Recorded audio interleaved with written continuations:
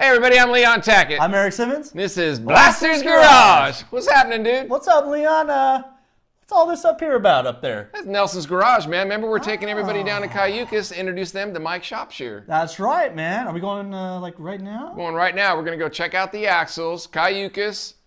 Let's check it. Let's go! Bring See it! Mike.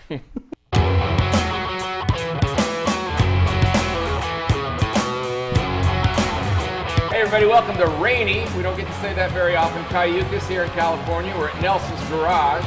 New owner, Mike Shopshear, and he's going to tell us what he did with these axles.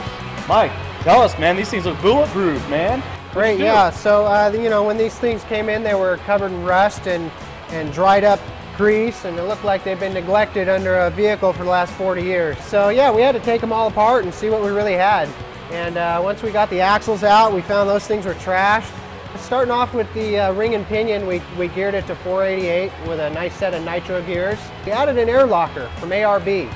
Uh, can't beat that long-lasting air lockers. We went on to axles. We put some nice hardened uh, 4340 axles and new bursts for this thing. So where were the axles from? Uh, the axles came from Just Differentials. Yeah, these guys were able to actually supply us with all of the nitro gear parts, uh, the, the complete knuckle rebuild kits, all the ARB uh, components that you see uh, we're, we're able to get from Just Differentials. Those guys were stellar. These uh, studs in the top of the knuckles that hold your steering arm, arm in, uh, those things are, are known to snap off in, in some cases, especially when you're doing some hardcore wheeling with oversized tires like 35 inches. So we, uh, we went with an ARP hardened stud kit, and uh, that should be pretty much the last time you're ever going to have to mess with those. So we had to, to bead-blast all the, the knuckles and the backing plates and the hub assemblies in order to put our new StopTech drilled and slotted rotors in. And so those StopTech rotors should be the last set you need. Rebuilt calipers, we got braided stainless brake hoses throughout.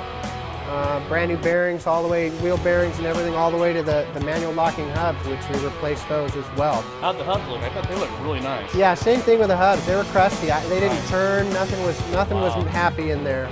This thing's going to be a, a brand new setup for, for the next guy who owns it. Uh, one you. last thing we added in there was uh, the ARP studs for those manual locking hubs as well. Hey, man, that was a great trip down to see Mike, yeah? Hey, he did a great job on those axles. That's it, folks. Cayucos, Nelson's Garage. Those axles are now beast mode. And we got a frame ready. That's right. That means that we are going down to Taps this weekend to install the new suspension.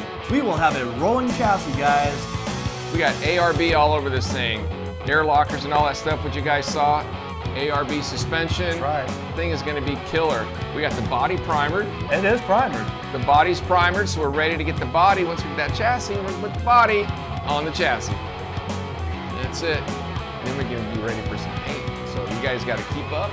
Stay and tuned. watch. You got to stay tuned. Hey guys, don't forget to support our troops. Like us and share us on Instagram, Facebook, YouTube. Help us spread the word. Our men and women in the military will be grateful for your support.